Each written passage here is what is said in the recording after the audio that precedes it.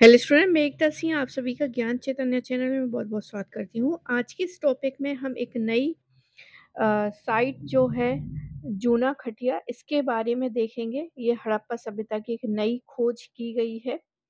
तो ये कहाँ पर मिलती है? गुजरात के कच्छ ज़िले के लखपत से लगभग 30 किलोमीटर दूरी पर जूना खटिया गाँव है। वहाँ से 12 हेक्टेयर क्षेत्र के उत्खनन से कतारों में शवाधान साक्ष्य प्राप्त हुए हैं।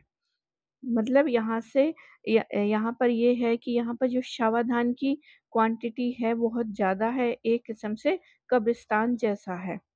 आगे है, इन कब्रों में के कब्रों में कंकाल के अवशेष के साथ जो है शंख की चूड़ियाँ, मिट्टी के बर्तन के टुकड़े, पत्थर के फलक, प्लेट और फूलदान मनके के आभूषण और जानवरों की हड्डियाँ भी आदि भी मिले हैं। अब यहाँ पर महत्वपूर्ण क्यों है? शवाधान की एक साक्ष्य जो है, बहुत पुराने हैं, तीन हज़ार दो सौ ईसा पूर्व से दो हज़ार छह सौ ईसा पूर्व तक के हैं, यानी आज से लगभग पाँच हज़ार पहले के हैं। इससे ये स्थल जो है यूनेस्को की विश्व धरोहर स्थल धोलावीरा सहित गुजरात के अन्य हड़प्पा स्थलों से भी पुराना हो गया है। पुरातात्विक राजेश एसवी के अनुसार जूना खटिया स्थल इसलिए भी महत्वपूर्ण है क्योंकि गुजरात के धौलावीरा और अन्य स्थानों के पास क्या है शहरी बस्ती मिली है।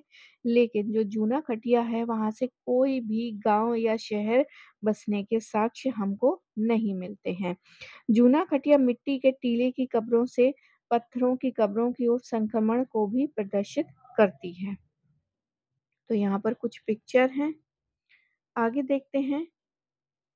यहाँ से जो भी मृद भांड ऊपर देखा था मृद भांड मिट्टी के बर्तन प्राप्त हुए हैं, उनकी विशेषताएँ और शैली सिंध और बलूचिस्तान से प्रारंभिक हड़प्पा स्थलों के उत्खनन से प्राप्त मृद भांड के समान है। आयताकार कब्रें, शैल और बलुआ पत्थर से बनाई गई थी।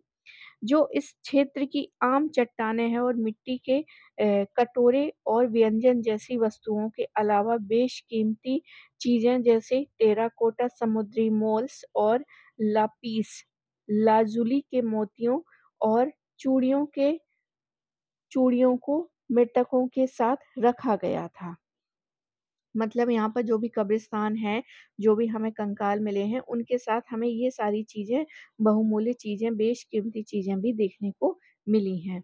पुरातत्व वेदताओं के अनुसार हड़प्पा सभ्यता दुनिया की सबसे पुरानी सभ्यताओं में से एक है, जो लगभग पाँच हज़ार ईसा पूर्व से एक हज़ार ईसा पूर्व तक सिंधु घाटी नदी के किनारे विकसित हुई थी। पाँच हज़ार ईसा पूर्व से लेकर दो हज़ार छह सौ ईसा पूर्व तक की दो हज़ार पाँच सौ वर्ष की अवधि को पूर्वी शहरी हड़प्पा काल के रूप में जाना जाता है। 2600 ईसा पूर्व और 1900 ईसा पूर्व को मध्य शहरी हड़प्पा काल और इसके बाद सभ्यता में गिरावट आने लगी है और 1900 ईसा पूर्व से 1000 ईसा पूर्व को शहरी अवसान हड़प्पा काल माना जाता है। कुछ अन्य स्थलों की यहाँ पर बात की गई है, जैसे सुर कोतड़ा, इसको भी देख लेते हैं। तो ये भी गुजरात के हैं, सारे जो इम्पोर्टेंट अन्य स्थल हैं वो सारे गुजरात के हैं।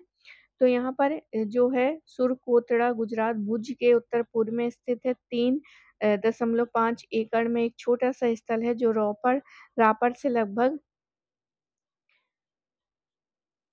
रोपड़ होगा, रोपड़ से लगभग 50 किलोमीटर दूर है।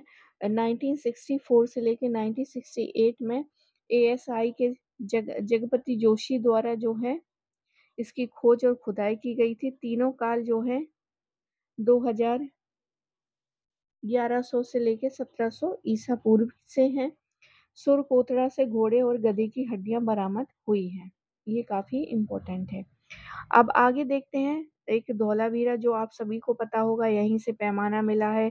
तीन भागों में डिवाइड था, एक बीच का जो है स्टेडियम है, ये सारी चीज़ें। तो इसके बारे में देखते हैं, हड़प्पा सभ्यता की शुरुआती परि परिपक्कम और इसके परिपक्व और इसके बाद हड़प्पा दौर वाले से संबंध आदि ऐतिहासिक कास युग वाली शहरी बस्ती का एक उत्कृष्ट उदाहरण है रण कच्छ के रण में स्थित हड़प्पा कालीन स्थल धौलावीरा को यूनेस्को ने विश्व धरोहर की सूची में शामिल किया है। लोथर देखते हैं भारत के महत्वपूर्ण पश्चिमी राज्य गुजरात में 2400 ईसा पूर्व पहले सभ्यता के प्रमुख नगरों में से एक था। पुरातात्विक खुदाई से पता चला है कि 5000 साल से भी अधिक समय पहले लोथर में मानव निर्मित डॉकयार्ड यानी कि जहाज़ निर्माण वाली जगह था। वहाँ से युगल शवाधान यानी पुरुष और महिला को एक साथ दफनाया के साक्ष्य प्राप्त हुए हैं। रंगपुर जो है पश्चिमी गुजरात से सौराष्ट्र प्रायद्वीप पर वन, वनला के पास हड़प्पा कालीन पुरातात्विक स्थल है। रंगपुर में बड़ी मात्रा में पौधों के अवशेष बाजरा, चावल प्राप्त हुए हैं।